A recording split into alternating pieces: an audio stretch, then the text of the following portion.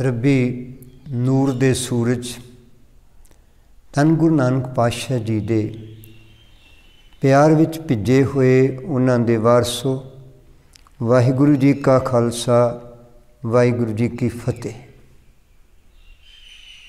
ਅਸੀਂ ਦੇਖ ਰਹੇ ਹਾਂ ਗੋਪਾਲ ਦਾਸ ਪਾਂਦਾ ਜੀ। ਹੁਣ ਜਗਿਆਸੂ ਬਿਰਤੀ ਵਿੱਚ ਆ ਕੇ ਤਨ ਗੁਰੂ ਨਾਨਕ ਪਾਤਸ਼ਾਹ ਜੀ ਦੇ ਵਿੱਚੋਂ ਜ਼ਿੰਦਗੀ ਦੀ ਉਹ ਸੇਧ ਜਿਹੜੀ ਅੱਜ ਤੱਕ ਉਹਨਾਂ ਨੂੰ ਵੱਖ-ਵੱਖ ਸ਼ਾਸਤਰ ਪੜਨ ਤੋਂ ਉਪਰੰਤ ਵੀ ਨਹੀਂ ਮਿਲੀ, ਪਰ ਗੁਰੂ ਨਾਨਕ ਪਾਤਸ਼ਾਹ ਜੀ ਦੇ ਬੋਲਾਂ ਚੋਂ, ਉਹਨਾਂ ਦੇ ਗਿਆਨ ਦੇ ਸ਼ਬਦਾਂ ਵਿੱਚੋਂ ਆਪਣੀ ਜ਼ਿੰਦਗੀ ਦਾ ਇੱਕ ਨਵਾਂ ਪੱਖ ਦੇਖਦੇ ਪਏ ਨੇ। ਇੱਥੇ ਬਹੁਤ ਪਿਆਰੀ ਜੀ ਗੱਲ ਸਾਹਮਣੇ ਆਉਂਦੀ ਹੈ ਕਿ ਉਹ ਬਹੁਤ ਨਿਮਰਤਾ ਦੇ ਤਲ ਤੇ ਜਾ ਕੇ ਧੰਨ ਗੁਰੂ ਨਾਨਕ ਪਾਤਸ਼ਾਹ ਕਹਿੰਦੇ ਹਨ ਕਿ ਵਿਦਿਆ ਬਾਰੇ ਕਿਤਨਾ ਦੀ ਵਿਦਿਆ ਲੈਣੀ ਚਾਹੀਦੀ ਹੈ? ਕਿਤਨਾ ਦੀ ਵਿਦਿਆ ਨਾਲ ਮਨੁੱਖ ਨੂੰ ਜੁੜਨਾ ਚਾਹੀਦਾ ਹੈ? ਤੁਹਾਡੇ ਲਹਿਜੇ ਵਿੱਚ, ਤੁਹਾਡੇ ਬੋਲਾਂ ਦੇ ਵਿੱਚ, ਤੁਹਾਡੇ ਗਿਆਨ ਦੇ ਸ਼ਬਦਾਂ ਵਿੱਚ ਉਹ ਵਿਦਿਆ ਕਿਹੜੀ ਹੋ ਸਕਦੀ ਹੁਣ ਧੰਨ ਗੁਰੂ ਨਾਨਕ ਪਾਤਸ਼ਾਹ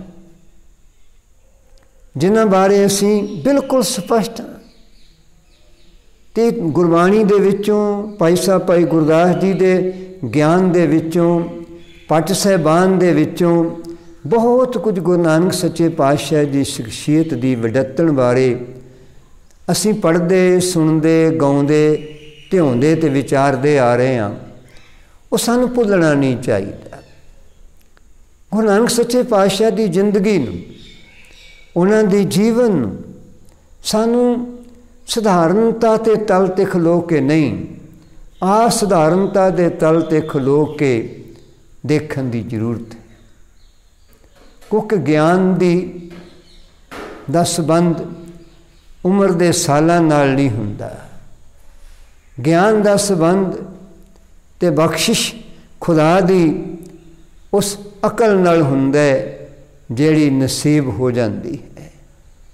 ਇਸ ਲਈ ਫਾਰਸੀ ਦਾ ਉਹ ਕਥਨ, ਬਜ਼ੁਰਗੀ ਬਾ ਅਕਲ, ਨਾ ਬਸਾਤ ਜਿਹੜੀ ਸਿਆਣਪ ਹੈ, ਜਿਹੜਾ ਗਿਆਨ ਦਾ ਅਨੁਭਵ ਹੈ, ਇਹਦਾ ਸਬੰਧ ਅਕਲ ਨਾਲ, ਸੋਝੀ ਨਾਲ ਹੈ। ਹੁਣ ਤਨ ਗੁਰੂ ਨਾਨਕ ਸਾਹਿਬ ਦੀ ਸੋਝੀ, ਉਹ ਤੇ ਰੱਬੀ ਜੋਤ ਵਾਲੀ ਸੋਝੀ ਹੈ। ਉਹ ਸੋਝੀ ਦੇ ਤੇ ਬਦਲ ਸੰਸਾਰ ਕੋ ਨਾ ਸੀ, ਨਾ ਹੈ ਤੇ ਨਾ ਹੀ ਸੰਸਾਰ ਨੂੰ ਲੱਭ ਸਕਣਾ ਹੈ। ਅਸੀਂ ਤੇ ਪ੍ਰਸ਼ਾਵੇਂ ਨੂੰ ਫੜਨ ਵਾਂਗ ਮਗਰ ਮਗਰ ਤੁਰਨ ਦੀ ਨਮਾਣੀ, ਨਤਾਣੀ ਕੋਸ਼ਿਸ਼ ਜ਼ਰੂਰ ਕਰ ਸਕਦੇ ਹਾਂ ਤਾਂ ਕਰਨੀ ਵੀ ਚਾਹੀਦੀ ਕਿਤੇ ਸਾਡੇ ਅੰਦਰ ਵੀ ਗਿਆਨ ਦਾ ਟੁਨਕਾ ਵੱਜ ਜਾਏ, ਕਿਤੇ ਸਾਡੇ ਅੰਦਰ ਵੀ ਇਸ ਗਿਆਨ ਦੀ ਜਿਹੜੀ ਮੁਤਲਾਸ਼ੀ ਹੈ, ਉਹ ਸਾਡੇ 'ਚ ਪੈਦਾ ਹੋ ਜਾਏ। ਕਿਤੇ ਅਸੀਂ ਵੀ ਇਸ ਗਿਆਨ ਦੇ ਢੰਡਾਊ ਬਣ ਕੇ ਅਸੀਂ ਇਸ ਲੱਭਣ ਦੇ ਲਈ ਤੁਰ ਪਈਏ, ਇਹ ਸਾਡੇ ਅੰਦਰ ਇਸ ਅਵਸਥਾ ਦਾ ਜਨਮ ਹੋਵੇ, ਇਹਦਾ ਇੰਤਜ਼ਾਰ ਵੀ ਕਰਨਾ ਚਾਹੀਦਾ ਹੈ। ਇਹਦੇ ਲਈ ਅਰਦਾਸਾਂ ਕਰਕੇ ਇਸ ਅਵਸਥਾ ਨੂੰ ਮਾਨਣ ਦੇ ਲਈ ਭਾਗਾਂ ਵਾਲਿਓ, ਆਪਣੇ ਆਪੇ ਨੂੰ ਗੁਰੂ ਅੱਗੇ ਸਮਰਪਣ ਵੀ ਕਰਨਾ ਚਾਹੀਦਾ। ਗੋਪਾਲ ਦਾਸ ਪੰਦਾ ਜੀ, ਨਾਨਕ ਜੀਓ ਸ਼ਬਦ ਬਦਲ ਗਏ ਹੋਣਗੇ। ਹੁਣ ਬਾਲਕਾਂ ਨਹੀਂ ਕਹਿੰਦੇ ਹੋਣਗੇ, ਹੁਣ ਇਹ ਵਿਦਿਆਰਥੀ ਵੀ ਨਹੀਂ ਕਹਿੰਦੇ ਹੋਣਗੇ। ਕਿਸੇ ਅੱਧੇ ਪਾਰੇ ਸ਼ਬਦਾਂ ਨਾਲ ਸੰਬੋਧਨ ਕਰਦੇ ਹੋਣਗੇ। ਇਹ ਵੀ ਹੋ ਸਕਦਾ ਹੈ ਜੇ ਗੁਰੂ ਨਾਨਕ ਨਾ ਕਹਿੰਦੇ ਹੋਣ, ਅਜੇ ਗੁਰੂ ਨਾਨਕ ਜੀ ਨਾ ਆਖਦੇ ਹੋਣ। ਪਰ ਕਿਤੇ ਨਾ ਕਿਤੇ ਉਹਨਾਂ ਦੇ ਅੰਦਰ ਸਿਆਣਪ ਤੇ ਹੈ ਨਾ। ਉਹ ਕੋਈ ਗਿਆਨ ਵਿਹੂਣੇ ਵੀ ਨਹੀਂ ਹਨ। ਉਹਨਾਂ ਬੜਾ ਕੁਝ ਪੜਿਆ ਬੜਾ ਕੁਝ ਗੁੜਿਆ ਬੜਾ ਕੁਝ ਤਜਰਬਾ, ਅਨੁਭਵ ਵਿਦਿਆ ਦਾ ਬੜੀ ਛਾਤੀ 'ਚ ਸਮੋਈ ਬੈਠੇ ਨੇ, ਪਰ ਅੱਜ ਉਹ ਜਗਿਆਸੂ ਦੀ ਸਤਹ ਤੇ ਨੇ। ਅੱਜ ਉਹ ਗਿਆਨ ਪ੍ਰਾਪਤੀ ਦੀ ਅਵਸਥਾ ਵਿੱਚ ਨੇ। ਉਹਨਾਂ ਦਾ ਸਵਾਲ ਸੇਧ ਬਖਸ਼ਿਸ਼ ਕਰ ਦਿਓ। ਮੈਂ ਜਿਹੜੀ ਵਿਦਿਆ ਪੜਾਉਂਦਾ ਹਾਂ, ਇਹ ਤੇ ਜ਼ਿੰਦਗੀ ਨੂੰ ਸਫਲ ਕਰਨ ਦੇ ਕੰਮ ਨਹੀਂ ਆਣੀ। ਆ ਜਿਹੜੀ ਵਿਦਿਆ ਦੀ ਗੱਲ ਤੁਸੀਂ ਤਖਤੀ ਤੇ ਲਿਖ ਕੇ ਦਿੱਤੀ ਹੈ। ਸੱਸੇ ਸਿਸ਼ਟ ਸੱਸੇ ਸੋਏ ਸਿਸ਼ਟ ਜਿਨ ਸਾਜੀ, ਸਭਨਾ ਸਾਹਿਬ ਏਕ ਪਿਆ। ਇਹ ਗੱਲ ਮੇਰੇ ਅੰਦਰ ਜਾ ਕੇ ਟਿਕ ਜਾਏ, ਮੈਂ ਇਸ ਵਿਦਿਆ ਦਾ ਢੰਡਾਊ ਬਣ ਜਾਵਾਂ, ਇਸ ਵਿਦਿਆ ਦੀ ਪ੍ਰਾਪਤ ਕਰਨ ਦੇ ਲਈ ਮੇਰੇ ਅੰਦਰ ਜਗਿਆਸਾ ਵੱਧ ਜਾਏ, ਕਿਰਪਾ ਕਰ ਦਿਓ। ਫਿਰ ਸਾਖੀਕਾਰ ਉਥੇ ਧੰਨ ਗੁਰੂ ਨਾਨਕ ਸੱਚੇ ਪਾਤਸ਼ਾਹ ਜੀ ਦੇ ਉਚਾਰਨ ਕੀਤੇ ਹੋਏ ਸ਼੍ਰੀ ਰਾਗ ਦੇ ਉਸ ਸ਼ਬਦ ਦੀ ਗੱਲ ਕਰਦੇ ਨੇ। ਜਿਸ ਸ਼ਬਦ ਦੀ ਰਹਾਉ ਦੀ ਪੰਕਤੀ ਹੈ ਬਾਬਾ, ਇਹ ਲੇਖਾ ਲਿਖ ਜਾਣ, ਜਿੱਥੇ ਲੇਖਾ ਮੰਗੀ ਤੇ ਹੋਏ ਸੱਚਾ ਨਿਸ਼ਾਨ। ਉਹ ਲੇਖਾ ਲਿਖਿਆ ਕਿਤਨਾ ਜਾਣਾ ਹੈ? ਇਹ ਤੇ ਪ੍ਰਸ਼ਨ ਹੈ। ਇਹ ਤੇ ਮਨੁੱਖ ਨੂੰ ਸੰਬੋਧਨ ਹੋ ਕੇ ਕਹੇ ਕਿ ਗੁਰੂ ਜੀ ਦੇ ਬੋਲ ਨੇ, ਹੈ ਭਾਈ, ਤੂੰ ਇਹ ਲੇਖਾ ਲਿਖਣਾ ਸਮਝ ਐਸਾ ਲੇਖਾ ਲਿਖਣਾ ਸਿੱਖ ਕਿ ਜਿੱਥੇ ਤੇਰੇ ਕੋ ਜ਼ਿੰਦਗੀ ਦਾ ਲੇਖਾ ਲਿਆ ਜਾਣਾ ਹੈ, ਤੇਰਾ ਲਿਖਿਆ ਹੋਇਆ ਲੇਖਾ ਉਥੇ ਤੇਰੀ ਜ਼ਿੰਦਗੀ ਨੂੰ ਪ੍ਰਗਟ ਕਰਨ ਦੇ ਲਈ, ਤੇਰੀ ਜ਼ਿੰਦਗੀ ਦੇ ਸੱਚ ਦੇ ਦਾ ਨਿਸ਼ਾਨ ਬਣ ਜਾਏ। ਹੁਣ ਗੋਪਾਲ ਦਾਸ ਪੰਦਾ ਜੀ ਉਹ ਜਗਿਆਸੂ ਬਿਰਤੀ ਚੋਂ ਪੁੱਛ ਤਨ ਗੁਰੂ ਨਾਨਕ ਜੀ ਦੇ ਮੁਖਾਰ ਬਿੰਦ ਵਿੱਚੋਂ ਉਹ ਲਾਹੀ ਬੋਲ, ਉਹ ਖਦਾਈ ਬੋਲ, ਉਹ ਪਰਮੇਸ਼ਰੀ ਬੋਲ, ਬਾਹਰ ਨਿਕਲਦੇ ਨੇ, ਪ੍ਰਗਟ ਹੁੰਦੇ ਨੇ। ਉਹ ਗੁਰਬਾਣੀ ਦਾ ਸਿੰਘ ਨਾਦ ਉਹਨਾਂ ਦੇ ਮੁਖਾਰ ਬਿੰਦ ਚੋਂ ਬਾਹਰ ਆਉਂਦੇ ਜਾਲ ਮੋਹ।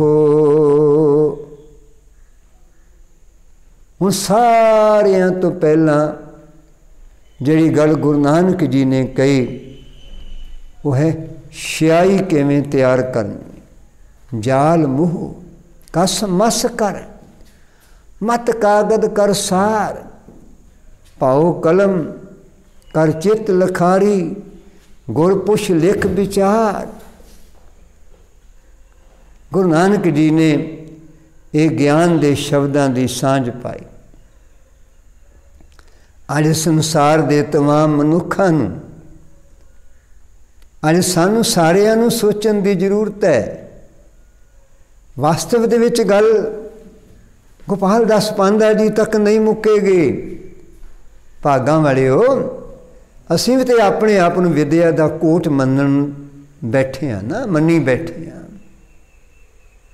ਮੈਂ ਇੰਨੀ ਵਿਦਿਆ ਪੜ ਲਈ ਮੇਰੇ ਕੋ ਹਰ ਡਿਗਰੀ ਆ ਗਈ ਮੈਂ ਇੰਨੇ ਗ੍ਰੰਥ ਪੜ ਲਏ ਅੱਜ ਸਾਡੇ ਕੋ ਦਾਵੇਗਿਰੀ ਕੋ ਘਟ ਹੈ।